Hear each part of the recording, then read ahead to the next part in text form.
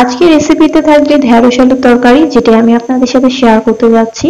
ঘরে থাকা খুব অল্প ইনগ্রিডিয়েন্টস দিয়ে আপনি এই রান্নাটি অনায়াসে করতে পারবেন এবং এখানে কোনো পেঁয়াজ রসুনের ইউজ আমি করব না।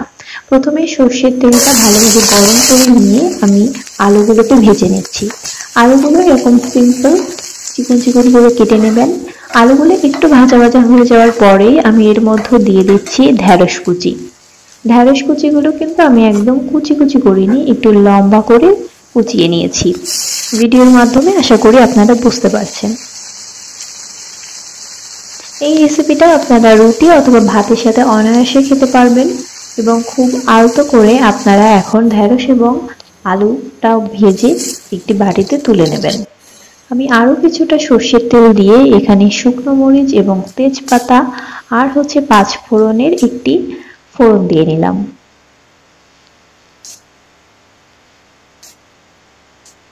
এর মধ্যে আমি এখন দিয়ে দেব দুটো কাঁচা লঙ্কা এবং একটু আদা কুচি।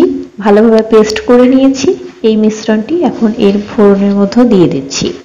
ভালোভাবে নাড়িয়ে চাড়িয়ে আমি এখন বাকি মশলাগুলো অ্যাড করব।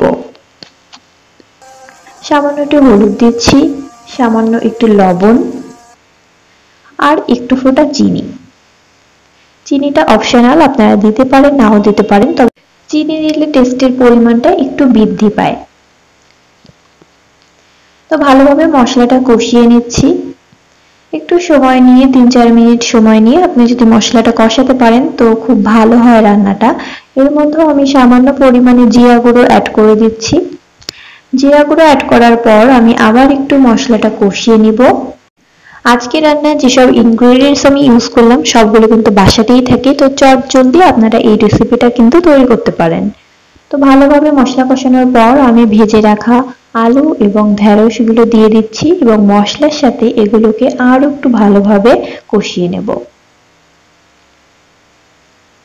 খুব ভালোভাবে আলু এবং ঢেঁড়সগুলোকে মশলার সাথে কষাতে হবে।